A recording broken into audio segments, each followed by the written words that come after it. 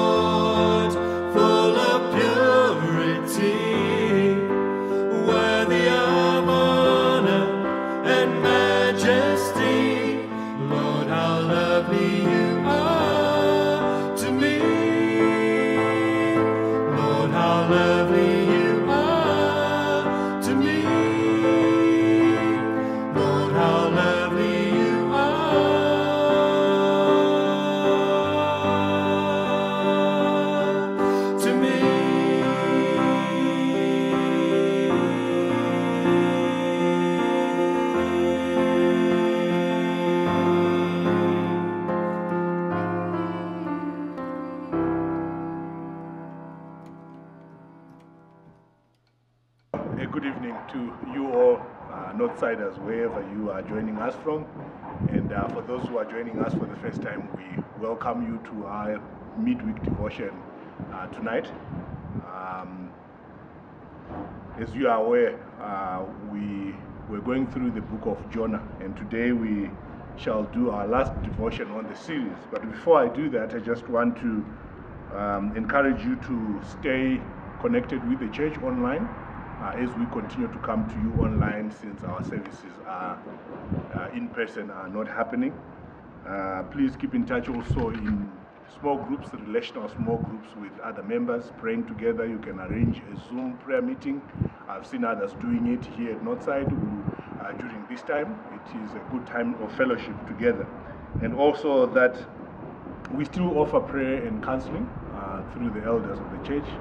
You are free to contact us if you have any prayer needs or counseling needs, which we can arrange to do either virtually or in person in some circumstances. We also will continue to give you the midweek devotion like the one I am in right now and the one you are in. Uh, and also take note that uh, we still meet our financial obligations as the church, and currently we are actually struggling uh, to do all that we are supposed to do at Northside. Um, we just urge you to be faithful to your giving as you give to the work of the Lord here at Northside. Uh, and the giving platforms, if you can find them on the bulletins. Uh, we also uh, will give you at every service uh, how you can give electronically. But if you want to come and give in person, you are free to walk in uh, midweek from Monday to Friday. Only on Tuesday that we don't do normal hours, it's 7, uh, it's 8 o'clock to, to 1 o'clock. Um, also, that take note that this week, this Sunday, we have the harvest service.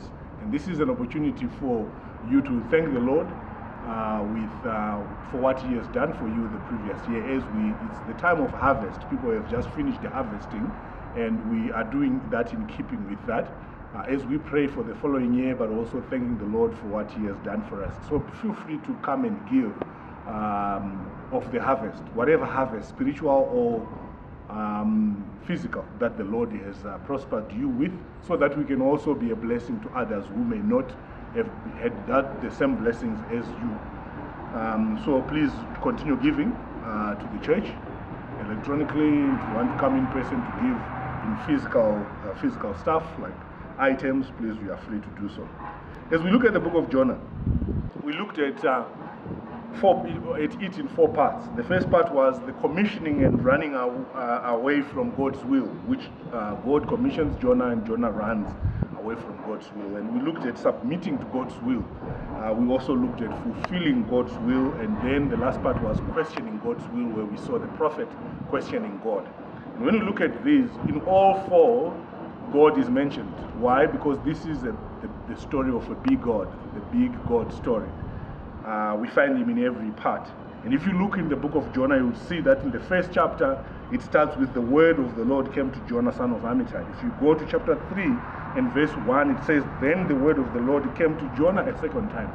And you can see we have four chapters. The first chapter starts with God. The third chapter, which is in the middle of the book, starts with God. And we are seeing again that God is all through uh, the pages of, uh, of, of the book of Jonah. The questions that I have for you today, I will just be putting some reflective questions on uh, following on, on on the series. The first part is in what ways have you been commissioned? How has God commissioned you? How has He commissioned me? And the answer to that is He has done that in three ways. He has commissioned us to salvation and holiness. That's the first thing. The second thing, He has commissioned us for service in the local church. The third thing is that He has commissioned us for service in the world, as we saw uh, this previous Sunday. But now the question is, how have you been submitting to His will in this? Because God's will is for you to be holy. God's will is for you to serve in a local church. God's will is for you to serve in the world through your words, through your actions. The question is, how have you been submitting to Him in this? In, in what ways have you been submitting to, to Him? In what ways, again, following up on that, have you been fulfilling God's will? But also remember, the prophet questioned God. In what ways are you questioning God? So during the week, uh, in the weekend, uh, someone talked uh, uh, and said this We can ask God questions, but we cannot question Him. So the question is Are we questioning God's will? Uh, are, we, are, we, are we asking questions that are questioning God, the person, the being, instead of asking Him questions that we may need answers for? But we are actually questioning Him if He is doing the right decision. In what ways have we been questioning God? And one of the things that stood up to me was God's compassion. In God's global intent, He wants everyone involved. And He calls the Ninevites in to join with the Commonwealth of Israel. And He sends a prophet. But that prophet testifies about God's character in chapter 4 and verse 2. And he says, you, I knew that you are a gracious, compassionate God, slow to anger and abounding in love, a God who relents from sending calamity. This is the God we see in the book of Jonah, a God who is willing to go an extra mile to have us all included in his mission. And his compassion is one thing that we, we see him being compassionate about uh, the situation, the plight of Nineveh, so much that he sends a prophet. But even when the prophet went there, when they relented of their sin, when they repented, he also relented, sending calamity to them, showing us how God is compassionate. The question is, how are we being compassionate? How are we sharing in God's compassion? Maybe you can use this as an opportunity during our harvest um, our service to give to those who may not have been as privileged as you are. Sharing compassion with them, feeling for them. Maybe it's foodstuffs, maybe it's, uh, it's clothes. This, is, this winter it's, it's cold. Uh, maybe it's, uh, it's a financial aid. Maybe it's some paying someone school fees. How are we sharing in God's compassion in all this? But we can also do it by sharing the gospel we may not be as prosperous in terms of what we get materially, but we are prospered by God through His Spirit that we can share His word with someone else. And the last thing we saw last week was that we have a mission of God, God who is on a mission to save humanity and to grow us to Christ likeness. But we also should be a missional God. Now, the question is, how are we faring in this? How are you faring in this personally? Because, as we said last week, it is easy for you to see what Jonah, the, the book of Jonah was saying, or the series was saying, and loading it to other people. People talk of, taking a shovel and just shoving it to other people and saying that is relevant for you, that is relevant for you. But what is relevant for me is the question I would like us to ask as we come to the conclusion of this series. So let me finish by saying, we serve a big God as we saw in the book of Jonah let me implore us to serve Him in a big way. Because if He is this big, then our response to Him should be in a big way. And when we do so, He will be glorified in a big way. You know, the book of Jonah has just changed how I've, you know, it has aided how I view God, the character of God. And may that also be the same for you. That you change the way you see God, but also that changes the way you act towards Him and towards the world to which He has called us.